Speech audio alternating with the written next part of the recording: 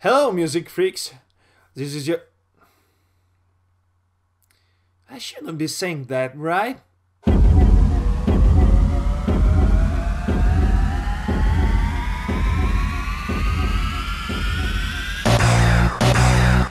All because of that thumbnail.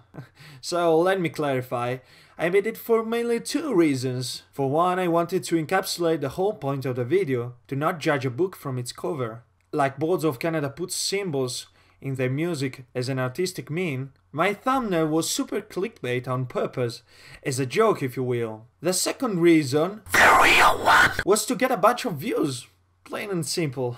Moving on, today we won't talk about IDM for the first time, yay! And instead, we'll talk about Talk Talk's last album, Laughing Stock. I had the idea of discussing this release for quite some time, but the recent passing away of the band's ex-frontman Mark Hollis pushed me into making my ideas a reality. This episode is dedicated to you, Mark. So, enough chit chat. Let's start with the analysis, shall we?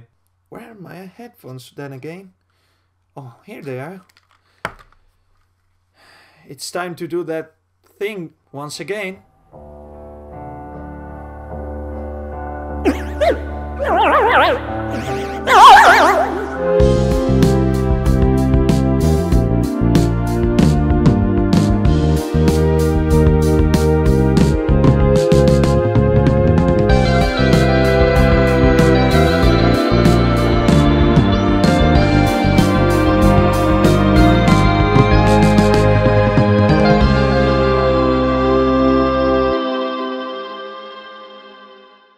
Here we are discussing Talk Talk, a band that really shows how a sound can mature and morph into something more creative and unique from a musical standpoint.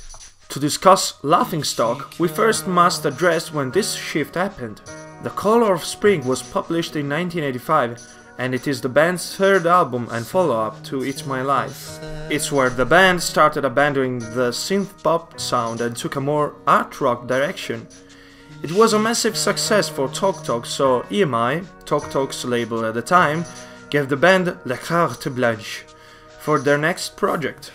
By 1988, this project was ready and had a name Spirit of Eden. Not even EMI knew how to market Spirit of Eden properly. Why, you may be asking? That's because it differs so much from what the band had released by the time you see, Talk Talk started as a pop group and a somewhat successful one, but Mark Hollis, the band's mastermind and singer, wanted to do more with Talk Talk's sound, and when the opportunity arose, Spirit of Eden came to fruition, an album so marketable that led to Talk Talk and EMI parting ways just after a pretty steamy trial that resulted in the band winning and signing to the label Polydor. Don't get me wrong, it's no Trout Mask Replica, actually far from it, but it sure isn't It's My Life, the band's catchiest album. Whew, after this lengthy introduction, it's time to discuss the meaning of the title of this video. Post-rock wasn't even a thing at the time of Spirit of Eden or Laughing Stock. In fact, the term post-rock was coined in 1994 by critic Simon Reynolds. Sure, that doesn't mean that post-rock wasn't a thing, it just wasn't formed in its entirety yet. It needed something more. It needed inspiration. To me, these two albums were the solid ground that the genre needed to flourish alongside other projects. Post-rock eventually evolved into something different, but listening to Laughing Stock inevitably gives you the genre's signature feel, melancholy and loneliness at their finest.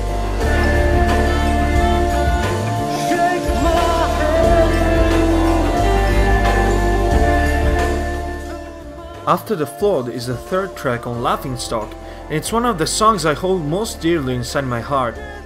It's that good. When those drums gently slide in followed by that amazing organ all the while those guitar and piano samples repeat on loop, man it makes me chill every time. Yes you heard me right, I said samples. That's because the recording process for this record consisted in 50 or so musicians like-minded, as Mark Hollis stated, who were recorded while improvising. Oftentimes they weren't given any song structure or chord progression and were instead encouraged to do their best to express their true essence. Just imagine going through those countless hours of music to make After the Flood Hollis's voice feels very gentle, unintrusive and melancholic. His voice just feels like one of the other instruments and not an actual voice, making the words almost unrecognizable at times. When that first chorus hits you, you can feel your skin all tingly, shivers down your spine. Oh, this is turning into some kind of low quality anti, right? Eh? Then, that distorted and screeching guitar solo comes in, a truly faithful auditory explanation of anxiety and hopelessness if I have to explain it somehow. Don't worry, after repeat listens, it almost feels like picking flowers, so you should be okay. Anyway, a truly remarkable song that fortunately lasts the right amount of time to give it the right exposure it deserves. 9 minutes and 40 seconds. Also, before moving on, it's worth mentioning that bong gargling at the beginning and at the end of the song, that's actually Mark Hollis's bong. So, as you can imagine, this isn't music for everybody and, like Spirit of Eden, this album didn't sell well, not even close to their first records, especially with fans upset with the drastic change in style that Talk Talk went for. So how come this album shaped a genre like post-rock? You probably heard how many artists like Johann Sebastian Bach were pretty unpopular when alive, but found new life and popularity, ironically, when they were already dead. In Bach's case, it took almost a whole century for people to catch up to his genius. And the same can be said for Laughingstock, an album that, on its release, received mixed receptions, including very harsh reviews, and that later on was re-evaluated, maybe thanks to a new audience gathering around Laughingstock and Spirit of Eden. Sometimes it just takes time for an artist to be appreciated. There comes a time when an artist needs to choose between making music for art's sake or just for the money. If the answer is the former one, then you shouldn't expect fame come washing you in waves. Sometimes these niche bands see small fame and sometimes they don't. As I once said to a friend of mine, innovative artists are just like grains of sand inside a hourglass. They just seem useless, but they push time forward, even if just by a fraction of time. Man, I just cannot see why I'm not famous after this sentence! The point of this video is that the world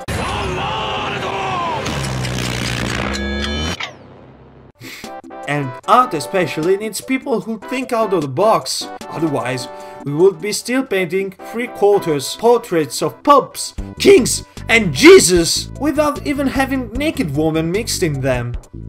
So, that concludes this pretty lengthy video, but I think Laughingstock needed the special treatment. You probably noticed, or not, that the video's title and subject don't match what I anticipated in the last episode. That's because I felt I wasn't doing justice to Sgt. Pepper, so I'll pull a Metroid Prime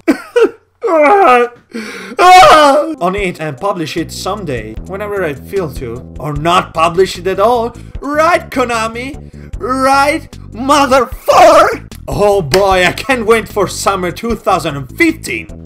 So I'm recording this clip on the fly because I noticed I didn't record this part of the video when I started working on the episode so I've also noticed how uh, just after Mark Hollis's death the rights for many of his songs and Talk Talk's songs as well were spread all across the internet from YouTube to Spotify and all other platforms because you know Laughingstock wasn't even available on Spotify for quite some time.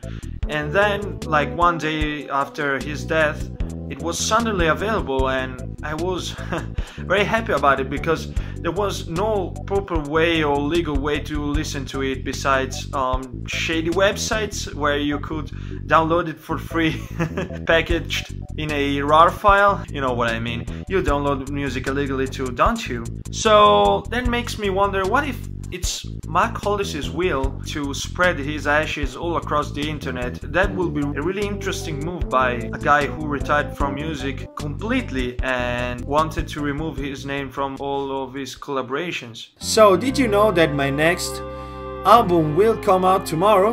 That's it, tomorrow. And expect a new episode this week, so stay tuned. Thanks Mark Hollis for the beautiful music you published. See ya! In the next episode. Bye!